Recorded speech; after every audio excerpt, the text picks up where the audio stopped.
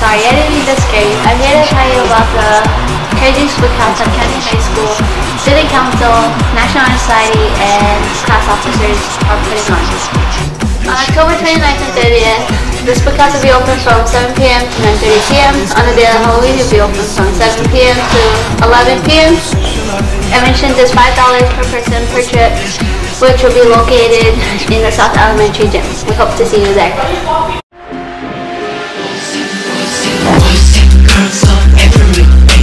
When you to see something strange and you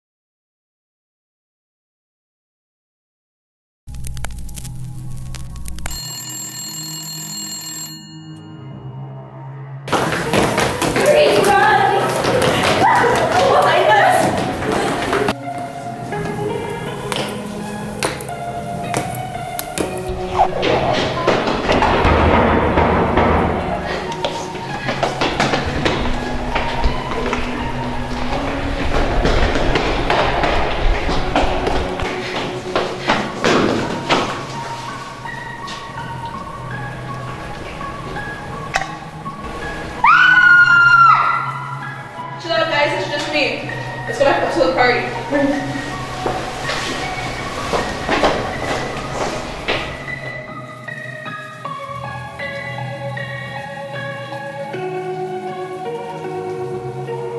Saturday, October 28th at Tuck High School is a haunted house and costume party from 8 p.m. to 11 p.m.